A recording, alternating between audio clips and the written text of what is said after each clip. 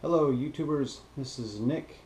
I'm here to do my final review of the Emax RS1606 4000 kV motors. Um, my last review I was talking about how they were overheating. Um, I had no idea what I was doing at the time. I just slapped them on there and flew around and came back and they were like super hot. So I had to do some research online and I finally came up with an answer. What I will do is the CLI commands, I will put them down below in the description. Um, so some CLI commands and then thanks to uh, some fellow YouTubers that uh, had responded and given their input. Um, I've got these down to acceptable ranges. I flew around two full packs pumping them up in the air, doing wild flips, and they came back and they were barely warm. Um, at first I thought they were the batteries. I had this 4S 850 milliamp battery on there and I thought well maybe that was the issue. So then I went out to RDQ and I got a 3S of the 850 uh, milliamp hour battery and that originally didn't help either. So I tried different props.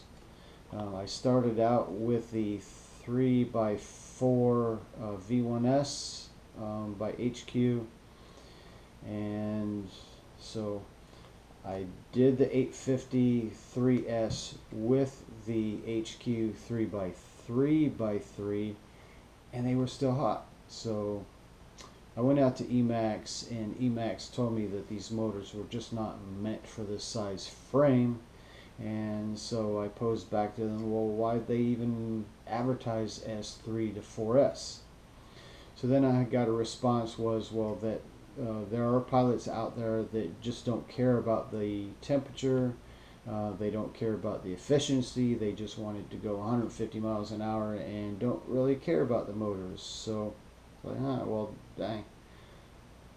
So anyway, I did the CLI commands, um, and then I tried a few th different things, and I found I love these motors. They just probably not the most efficient motors. Um, Ray Harrell would probably say that yeah, these are definitely not uh, very efficient, but I've got them, and now that I've got everything tuned, they work, it screams, and it comes back and they are not super hot. So I'm happy.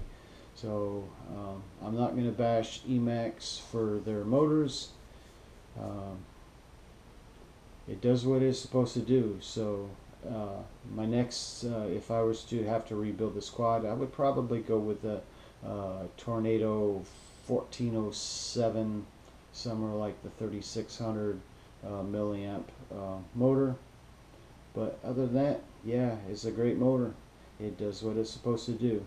So I will try to attempt adding my PIDs, um, but I will tell you, um, one of my viewers told me to lower the P way down to 30, and I swear that that is it.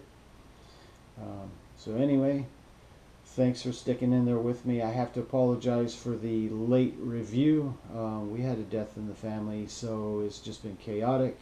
Um, but this is finally it. I'm super stoked about these motors.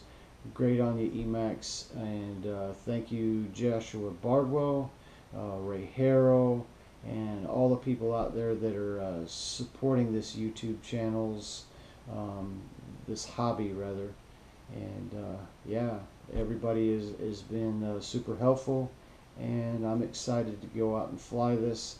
I will have to do a review for the uh, Foxeer mix, um, but we'll leave that out of this one. Um, right now I'm just waiting for a Falkor to come in and we're going to try that one. Alright guys, thanks a lot.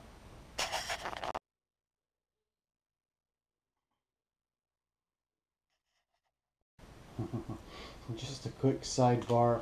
Um, I just wanted to see how many of you tried your motors with the 1500 4S battery.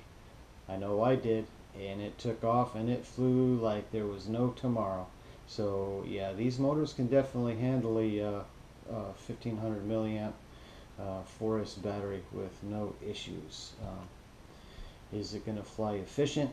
Probably not, um, but it will scream, and these motors will definitely carry it. So, somebody thinking uh, putting on a GoPro on there, yeah, these motors would definitely handle it. All right, thanks again.